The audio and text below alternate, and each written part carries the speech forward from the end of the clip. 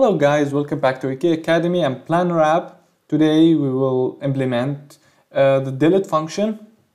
So we are going to do something like this, ask for confirmation, like confirm. As you can see, the plan has been removed. So let's get started. Now, before we proceed in that, I just want to mention something and fix uh, an issue I didn't notice in the previous video. Special thanks to our friend Sandy Puhur for mentioning that in the comments in the previous video, which is in the edit plan async actually it's a put request so you can replace. It takes the, the same parameters for the post but it's um, a put request instead of post. So here I have made it a post. It should be put to edit and post while adding a new uh, plan each time you click edit. And that's it. Now to proceed with delete we will first create a new function inside the plan service call it delete plan async. And let me go first to the swagger UI here and let's see what we have. There is a delete request here slash API slash plans and take the ID of the plan we want to remove. And basically it just returns um, plan operation response the same for add and uh, edit. Okay. And also there is something very important uh, we should go to NuGet packages.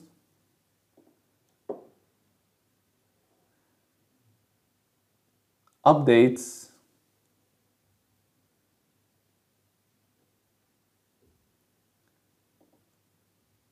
installed ah sorry go for NuGet packages for the shared application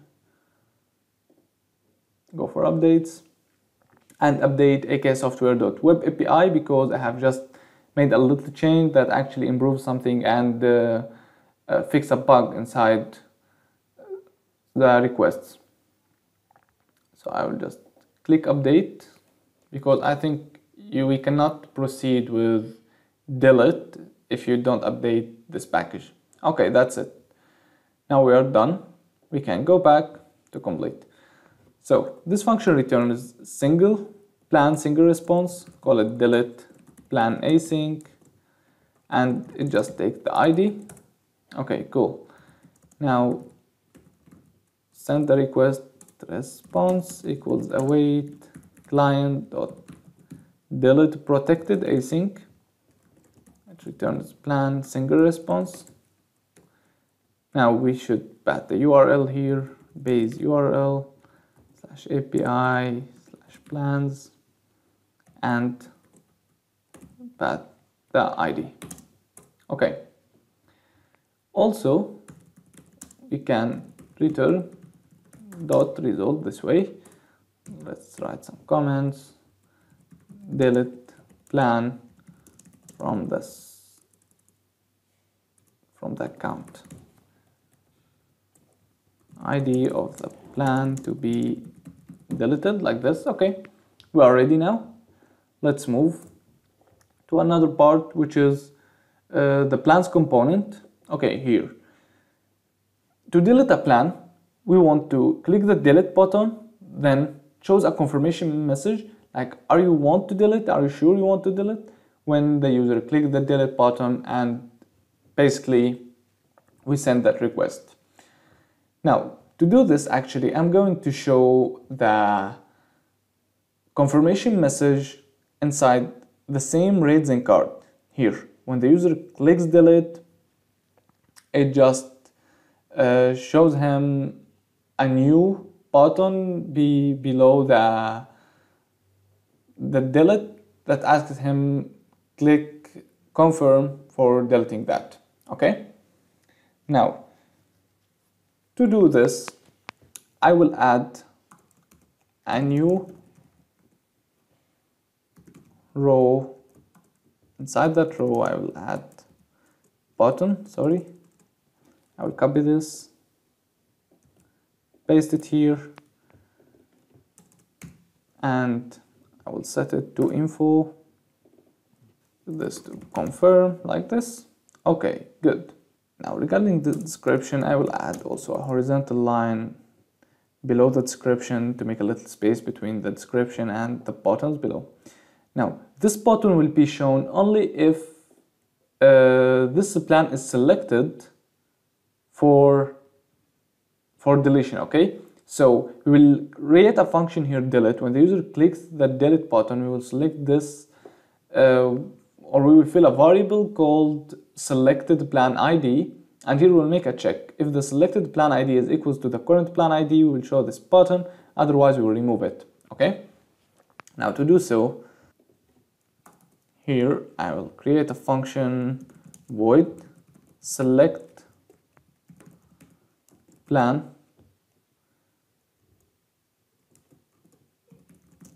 path the ID of that plan basically what this one does is just set the value for this selected plan. Id equals to string dot empty like that. Set the selected plan id equals to id okay? We can do it also exactly directly here inside the button as a lambda expression but yeah we can set it in a separate function because maybe you want to add some logic after that or whatever. Now or new line.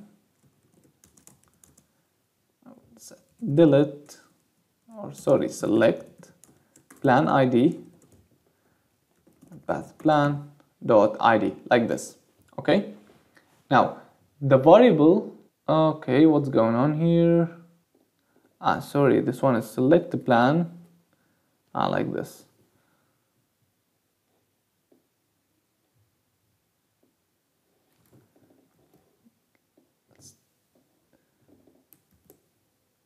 Okay I have set the field instead of the function. Okay now for the confirmation I will type an if condition here if the selected plan ID equals to plan.id then show this button okay?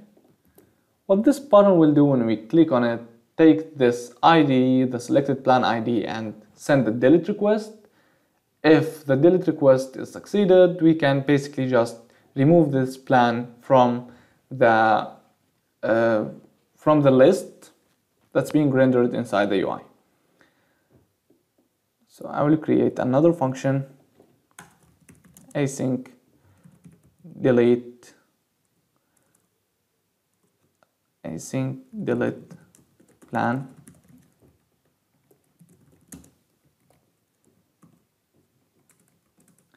First set is busy to true. Busy to false here. Then let's send the request. Var result equals await plans. Service dot delete plan async and the id is the selected plan id like that. Okay. If result dot is success then as you can see here I have plans which actually contains all the plans inside the UI. So if the request is succeeded, I have two things to do. Either we can I call the get plans async again, which is useless or not convenient actually because there is no need to recall everything just to remove that plan from the UI while we can directly remove it from the local list and in this way I can save a get request for the server. For this reason I have put them inside a list so I can add and remove for them. Now I will get the plan, deleted plan equals plans dot single or default b dot id equals equals to selected plan id. I've got it. Then I can say plans dot remove deleted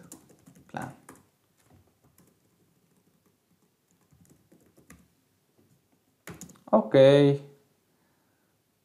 and that's it. Now if it failed for a specific reason which is the plan is not existing if you go here again to the API documentation you can see either it success or it returns not found which means the plan is not existing. Maybe it's removed from another UI which is the only reason that uh, this request will fail and in this way I'm just going to show an error message somewhere or we can basically just call the get uh, all plans again which actually will refresh this page and solve our problem. And this is actually what I'm going to do.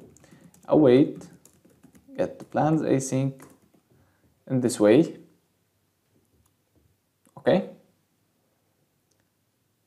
Now let's go to this button here. And set click equals to async. Wait delete plan async and this way. That's perfect. Now we can uh, try that. Let's run the application okay plans. Great. Now let's try to remove this one. I'll click delete here. Okay this is the confirmation button. I need actually a little uh, margin so the appearance is gonna be better then if I click confirm. Okay great. The plan has been deleted. As you can see if I try to look for 2 just for 2 search. You can find only 12 and the new plan 2 which is added uh, at the beginning. Let's remove the 12 great. Let's search for 12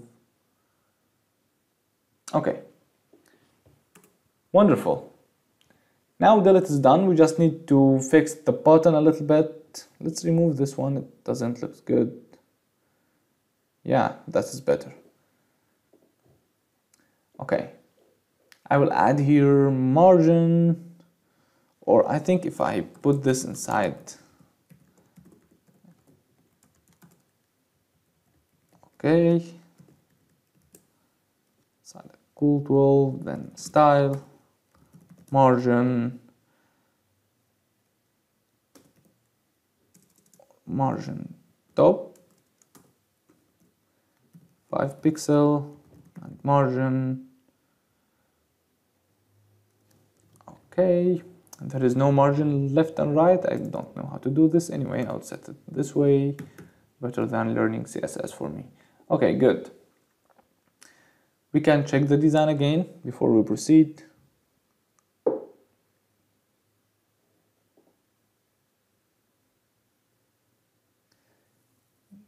great. Delete. Yeah this is better. Very good. Now before we finish let me just uh, make a quick recap for what we have done in this session. First in the plan service we have added just a function uh, that sends a delete request. Of course we have updated the package uh, that's responsible to call the API because there is a little bug inside the delete protected async. I have fixed it in the last version. Okay. Then we have moved to the plans component. Here I have created two functions. The first one to select a plan and the second one is to send the delete request and I have created a private field which holds the ID of the plan that we want to remove. Okay.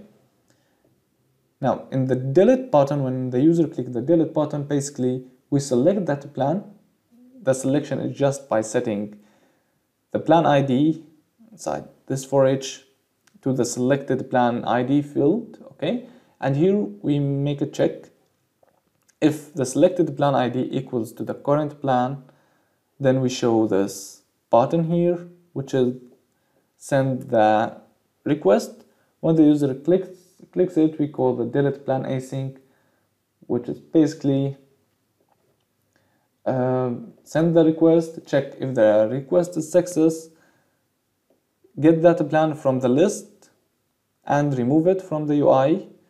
If it fails, I've called get plans async because the only situation that the request will fail is if this plan has been, uh, let's say, removed by another UI, or if you have, if you open your application in two browsers or two tabs, maybe inside the same browser, and you remove that plan from a tab or a browser, when you come back to the second one and try to remove it, in this situation, uh, the request will fail. So I have called get the plans async. So in this way, we refresh just the page. Better than showing a message because there is no message to show. You can just say something went wrong. Please try again. Okay. That's it. Thank you so much for watching. Now, the next video, we will go again to the edit plan. So uh, the user can add items and check them, mark this item as checked, and that's it. Thank you so much for watching. Don't forget to support us by like, share and subscribe. Thank you.